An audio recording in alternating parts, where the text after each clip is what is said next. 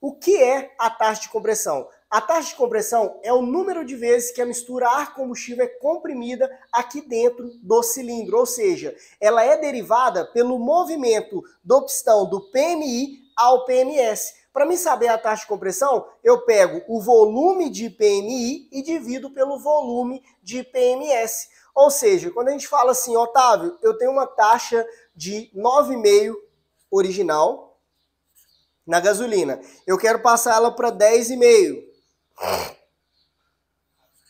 ou 11, 12, 13 de taxa. O que, que isso aqui está indicando para mim? Isso aqui indica que o volume total aqui de PMI, um exemplo aqui a 9,5, ó.